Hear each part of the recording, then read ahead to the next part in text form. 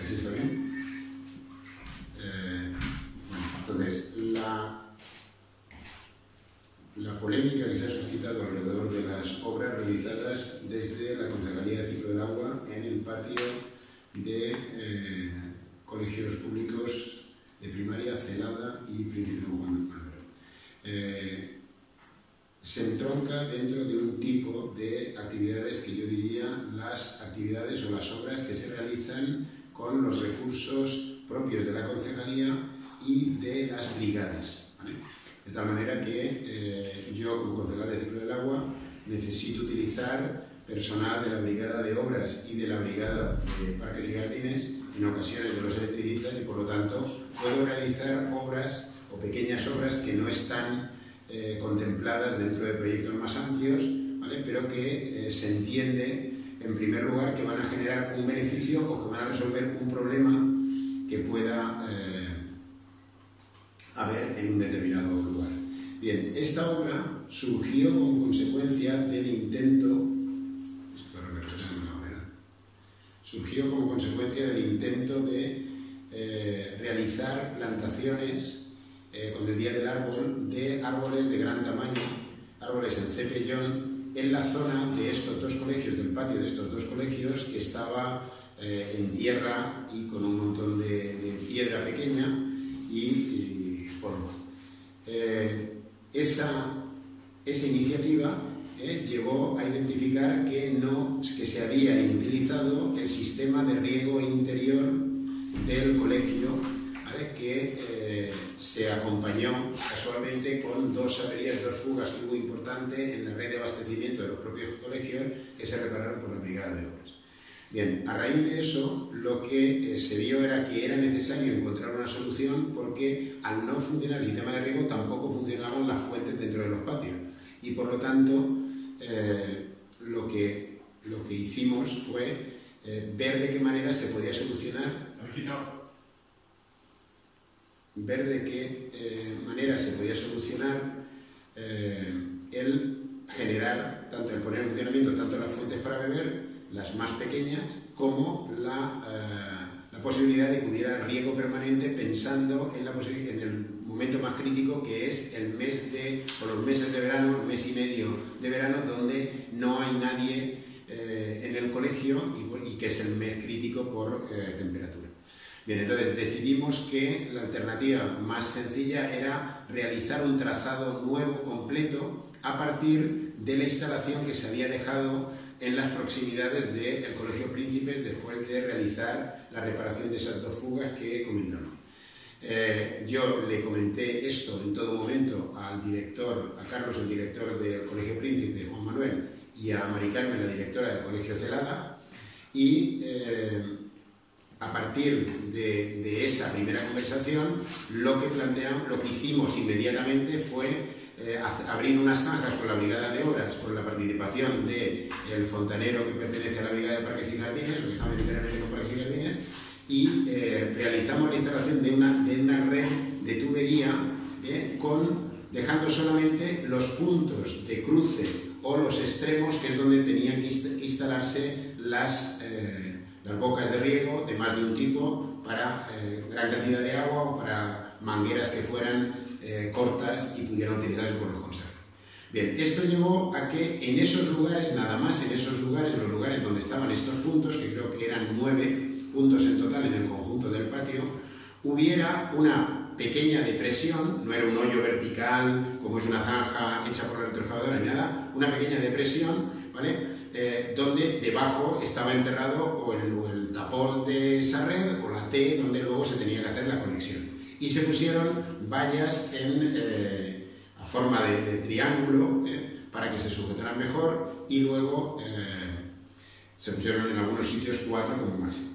Bien, esa fue la primera fase. Y la segunda fase iba a abordar el, un problema que ha habido de forma continuada en en ese patio, que es eh, cuando hay una precipitación importante, se acarcaba el patio. Es decir, se forman unos regueros, ¿eh? se lleva la tierra y esa tierra sale primero a la calle Cardenal Cisneros y luego a la calle San Sebastián. Por lo tanto, eh, uno de los objetivos era eh, eliminar completamente la posibilidad de que eso siguiera ocurriendo y a la vez intentar eh, matar otro pájaro de un tiro, que era ver si podíamos conseguir que cuando con cualquier tipo de precipitación el agua, en vez de salir fuera del colegio, que es lo que ocurría prácticamente de forma inmediata, se quedara en la zona que no está ni cementada con las pistas ni asfaltada. De manera que ese agua pudiera percolar en profundidad, ¿vale? ¿Por qué hicimos esto? Porque aunque parecía en algunos momentos que había escombro debajo en el patio, es cierto que hay zonas donde hay escombro eh, en algunos, algunos rodales, pero cuando se plantó el cedro que plantamos en Celada, en Grande, vimos que a partir básicamente de medio metro de profundidad el suelo es relativamente bueno como el que hay en el pie de de la Sierra de la Villa. Por lo tanto, se podían hacer plantaciones de interés y que si se conseguía que el agua formara charco, el charco poco a poco eh, penetraría en ese subsuelo y eso mejoraría considerablemente el potencial de que allí pudiera haber otros árboles. Bien, quiero destacar que en el conjunto eh, del patio de los, dos, centros no hay ninguna especie de hoja perenne. ¿vale? Es decir, que esos patios durante el otoño y el invierno parecen realmente eh, esqueléticos. esas son las, dos justificaciones principales. Bien, dado que esta intervención mía viene a raíz de un comunicado emitido por el AMPA, ¿vale? titulado en uno de los medios El patio del Colegio Príncipe Don Juan Manuel se transforma en un patio multiaventura, he querido poneros ese vídeo para que veáis que realmente las motas ¿eh? en la actualidad y cómo quedarán, que os explicaré cuál es el objetivo final, yo creo que van a ser un plus considerable atractivo para el colegio. ¿vale? Lo que eh, reconozco que como consecuencia de la forma en la que tenemos que hacer el trabajo cuando lo hacemos usando la brigada, pues ha pasado unos tiempos y ha generado una alarma en algún momento, sobre todo a partir de eh, un instante en el que a mí me comunican eh, la directora del, Celada que ha habido un incidente de que críos habían tirado piedras a coches que pasaban por la calle Cardenal Cisneros. Y entonces, es evidente que en ningún momento eso se pretendía, es evidente que eh, lo que se quiere hacer, lo explico, es el objetivo general ya lo he explicado, pero lo que se quiere hacer es, eh, se han construido una serie de motas que, por ejemplo, os pongo esta de aquí,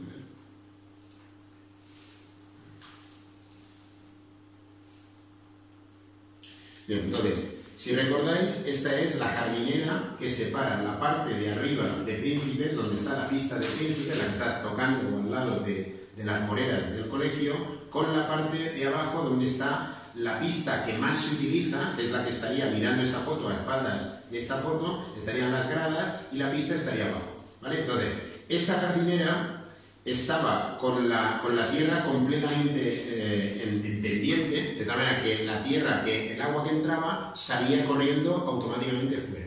Y las raíces de estos árboles, que la mayoría son olmos pumila, estaban al aire, ¿vale? lo que dificultaba su crecimiento y hacía que ese espacio fuera poco utilizable. ¿Qué es lo que hemos hecho? Lo que hemos hecho ha sido generar una mota de tierra que genera un talud que se pretende revegetar con, con grama y en la parte de arriba hemos dejado, además de cubrir las raíces que estaban al aire, hemos dejado una zona relativamente plana que permitirá poner mesas debajo de esa zona que tienes eh, las copas de los árboles para poder comer y disfrutar de ese árbol. Bien, las otras actuaciones, bueno, eh, esto sería otro detalle de, esa zona, se ve, esto es ahora como está ayer, las fotos son de ayer, se ve que los árboles estaban hasta aquí sin tierra, hemos añadido tapando parte de la tierra y esta mota protege la parte de, dentro y al ser la mota formando una C, forma un charco, cuando ese charco llega a una determinada magnitud, entonces desbordará por el borde a otra escalera de obra que hay en el lateral. De tal manera que eso reducirá considerablemente la cantidad de sedimento que el agua pueda arrastrar y hará que estos árboles reciban una gran cantidad de agua de forma natural cada vez que llueva sin generar ningún tipo de problema porque a menos eh, de palabras directas de la directora del Celada, pues no hay problema. Igual como se les dice en algunos momentos que hay una obra a los críos que no entren en tal sitio, pues cuando hay un charco se les dirá que no pueden entrar de forma oficial por los maestros y no pasará nada. Bien, eh, los otros ejemplos que tengo, bueno, hay otros ejemplos. Este de aquí sería el de la parte de abajo, ¿vale? Como veis, eh, en la parte de la pista inferior, es decir, estos son los vestuarios que daban hacia, que tienen detrás el edificio que se llama Los Maestros, el que está eh, clausurado, eh, y delante básicamente lo que hay es una C o una U que mira en el sentido en el que baja el agua. ¿vale? Esa U está conectada con esta línea que se ve aquí oscura, que es la mota más alta que bordea la pista inferior eh, por el lado superior, de tal manera que toda el agua que caiga en los dos espacios donde plantamos el cedro y la que venga de esa zona, de esta zona que aquí quedaría a la derecha, acabaría acumulándose aquí. El vídeo que hemos visto, los críos están jugando aquí. Y en la conversación que yo tuve con María José Navarro, que es una vocal del, del AMPA de Príncipe Don Juan Manuel, la semana pasada, que es como a mí me llega la primera notificación de una queja del AMPA, eh, ayer estuve hablando con, con ella y con la presidenta del AMPA casi una hora y media y me dijeron que habían metido una, una carta por la de entrada, pero la verdad es que ese escrito a mí no me ha llegado, no sé dónde se habrá quedado, porque yo a quien utilizaba como vías de comunicación y de contacto eran a los directores ¿eh? de los dos centros.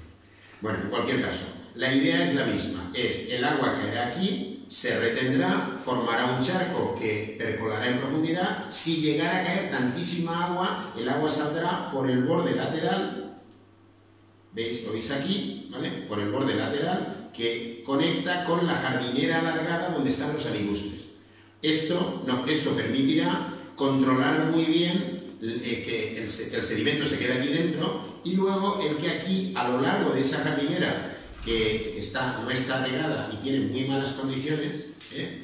Eh, ha provocado que los aligustres estén muy mal, están muy deteriorados, se puede ver.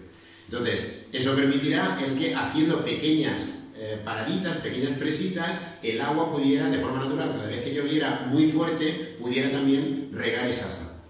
Bien, hay más detalles, ¿vale? Esto sería la parte de arriba, eso sería la C que está al lado de la primera pista de Príncipes.